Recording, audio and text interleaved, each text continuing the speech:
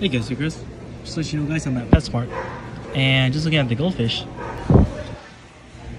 Yeah, these guys are cheap, like 40 cents the large. But the other one is 22 cents. And they're quite small. Look at them.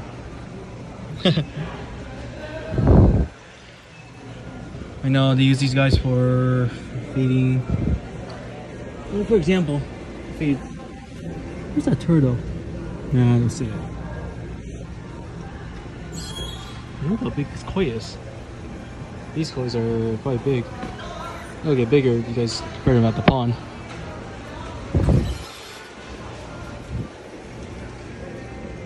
Oh, look at these. Definitely baby size.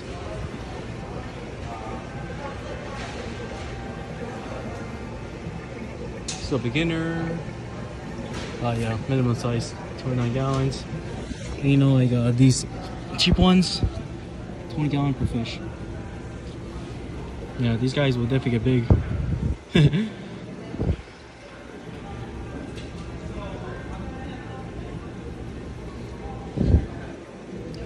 Some people, they do keep these as pets. So half for feeding, half for pets. Either way. And some of them are like different colors. like, look at the white one right there. And black. And a mixture of white orange.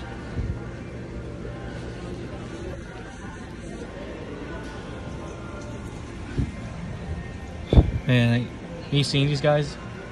I mean, if you imagine them like, like years later, they'll get definitely get big. Just imagine like, so those guys are about an inch, but man, they can get more inches when time goes by. But yeah, I'm gonna head out, guys. Are these? Huh. Look at these fishies.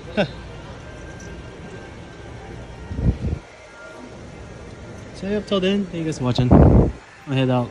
Peace.